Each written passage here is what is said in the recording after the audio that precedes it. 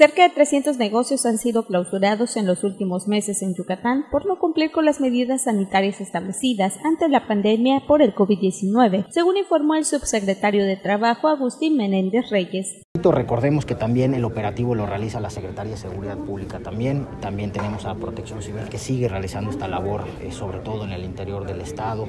Eh, tenemos, por supuesto, también con, las, eh, con la dependencia de Protección Civil Municipal de los diferentes municipios también esta labor de coordinación para tener una mejor presencia, porque la realidad es que también por, grande que es el esfuerzo de, los verificadores de protocolos sanitarios, pues no podemos tener omnipresencia en todo el tiempo, en todo momento. De ahí el llamado que hacemos constantemente a los establecimientos a ayudarnos a implementar estos protocolos, a tener esta responsabilidad, esta corresponsabilidad, donde también incluso participamos nosotros como comensales y como usuarios, ¿no? de acatar estas medidas, de ser responsables, de tener que, eh, eh, pues cuando lleguemos a un lugar, ser conscientes de que para que se aplique correctamente el protocolo, pues nosotros también también participamos dentro del establecimiento. ¿no? El funcionario estatal explicó que el objetivo principal de este operativo no es clausurar, sino corregir ciertas medidas sanitarias que no se cumplen a cabalidad. Las clausuras eh, son menores, lo que busca este operativo es promover la actividad, pero con seguridad, y hay muchas de las... Eh,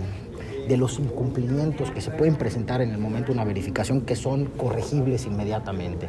Eh, si no tienen el gel antibacterial donde lo deben de tener o si no se están controlando el aforo, se puede empezar a controlar el aforo en ese momento. Es decir, son cosas que se pueden corregir de manera inmediata y que no amerita necesariamente una clausura. ¿Qué sí estamos haciendo?